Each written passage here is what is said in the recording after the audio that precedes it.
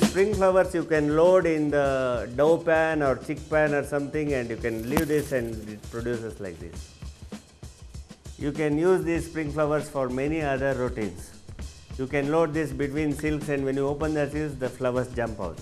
So many tricks you can do with this spring flower. It's a long lasting. Take care, don't uh, step on those flowers. Otherwise you can use them for many months, years. Thank you.